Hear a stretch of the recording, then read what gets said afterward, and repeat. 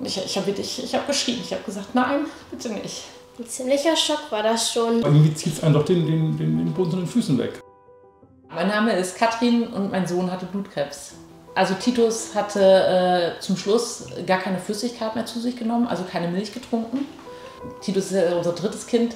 Ich hatte wirklich gedacht, es würde am Zahn liegen, weil er schon einen Zahn bekommen hatte. Bin zur Apotheke hingegangen und da hatte ich wirklich das Glück, dass die Apothekerin sagte, dann fahren Sie doch besser mal damit zum Notdienst. Dann haben wir es halt diese Kette ausgelöst, dass wir da wirklich von Notdienst ins Krankenhaus überwiesen, Blutabnahme und dann halt äh, nach zwei, drei Stunden stationäre Aufnahme dann hieß es dann, ja, wir vermuten Leukämie und ja, das war also wie so eine große Keule war das dann. War immer sehr traurig, weil ich wusste das, ich wusste ja nicht, wie das jetzt endet, ob der jetzt gesund wird oder jetzt nicht, das wusste ich ja nicht.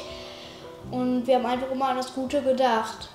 Wenn ich an Blutkrebs denke, dann denke ich an. Ja, leere Zimmer oben, lange die Spielsachen da und ja, der war aber jetzt nicht da, der Mann. Die Familie wurde so entzerrt.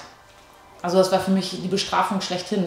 Tod denke ich teilweise auch mal. Wir haben ja auch teilweise mal von Leuten gehört, Kinder, wo dann ein Kind verloren haben. Wir waren ja eigentlich ähm, Ende 21 durch mit dem Thema Leukämie. Da hieß es ja, ist leukämiefrei und, ähm, und da hat man wieder festgestellt, ist wieder was da.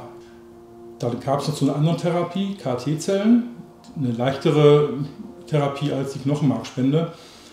November 22 wieder was festgestellt worden.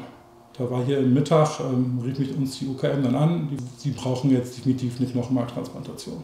Dieser Tag, der Anruf, so Bams. Dann war wieder so Boden weg. Dann hieß es erst, eventuell könnten die beiden Geschwister, die beiden Mädels Spender sein. Wir mussten nach Münster auch in die UKM fahren. Dann wurde uns Blut abgenommen und dann wurde es halt ins Labor geschickt. Und dann wurde es untersucht, ob wir Tito Spender sein können. Passt nicht. Wir brauchen einen Fremdspender.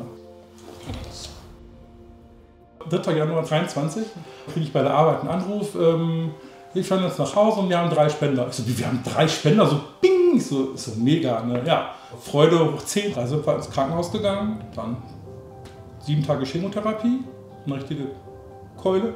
Und dann gab es am 1.3. halt dann die neuen Superzellen. Ohne diese Spender wäre Titus vielleicht schon nicht mehr bei uns. Wir sind einfach nur riesig dankbar, dass der Mann gespendet hat für uns und es dem kleinen Mann jetzt so gut geht. Kann man nicht in Worte beschreiben irgendwie. Mhm. da kommt schon wieder mal wie Tränen.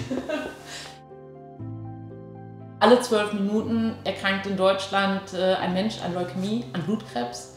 Und nur durch euch, wenn ihr euch registrieren lasst, ist es möglich, dadurch ein Menschenleben zu retten. Ohne den Spender, den wir gefunden haben für Titus, ähm, der Titus nicht jetzt unser Titus. Registriert euch auf dkms.de, um Leuten wie mein Bruder zu helfen. Mund auf. Stäbchen rein. Spender sein. Nein, da, da, lieber. Da, da. Tommy.